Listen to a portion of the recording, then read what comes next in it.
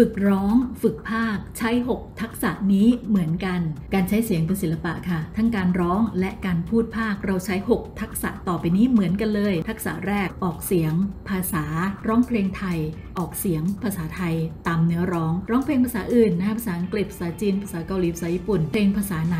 ก็ต้องมีทักษะการออกเสียงเนื้อเพลงภาษานั้นอย่างถูกต้องชัดเจนนะ ทักษะที่ 2 การควบคุมลมหายใจนะคะ ถ้าควบคุมลมหายใจดี การอัดเสียงพูดภาคก็เป็นไปอย่างราบรื่น ควบคุมน้ำหนักเสียงควบคุมเสียงสูงต่ำได้อย่างที่เราต้องการ เพราะเราควบคุมลมหายใจได้อย่างดี และถ้าร้องเพลงล่ะ เราควบคุมลมหายใจได้ เราก็จะร้องเพลงอย่างมีท่วงทำนอง อย่างถูกโน้ตไอเสียงหนักเบา ร้องเพลงไม่เพี้ยน รวมถึงแนวเพลงที่ใช้พลังเสียงเยอะๆนะ การควบคุมลมหายใจสำคัญ เสียงร้องที่มีพลังสะกดคนฟังคนดูได้เลยทีเดียวนะ ทักษะต่อมาทั้งเสียงร้องเสียงพูดต้องใช้ทักษะ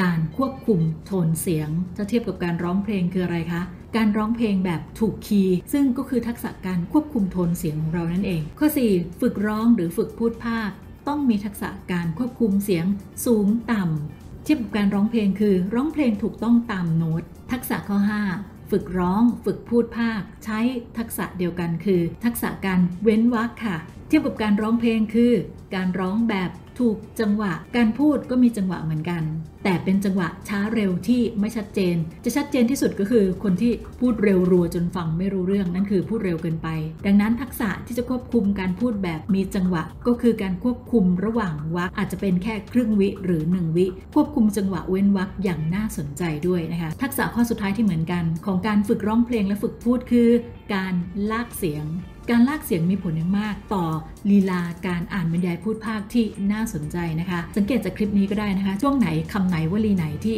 แคลลากเสียง หรือบางคำก็ตัดหางเสียงไปเลย ซึ่งเป็นลีลาการพูดของแคลถูกไหมทักษะการลากเสียงในการร้องเพลงยิ่งสำคัญใหญ่เลยใช่ไหมแต่ละคำแต่ละท่อนแต่ละวรรคของเพลง ก็มีช่วงการลากเสียงสั้นยาวไม่เหมือนกัน สังเกตตอนจบบางเพลงต้องลากเสียงยาว เลย ซึ่งมันก็เกี่ยวพันกับทักษะการหายใจด้วย สรุปค่ะ ฝึกร้องเพลง ฝึกพูดภาค ต้องใช้ทักษะ 6 ข้อเหมือนกัน สำหรับผู้ที่รักการร้องเพลง การพูดบรรยาย เราขาดทักษะอะไร ฝึกเพิ่มเติมทักษะนั้นนะคะ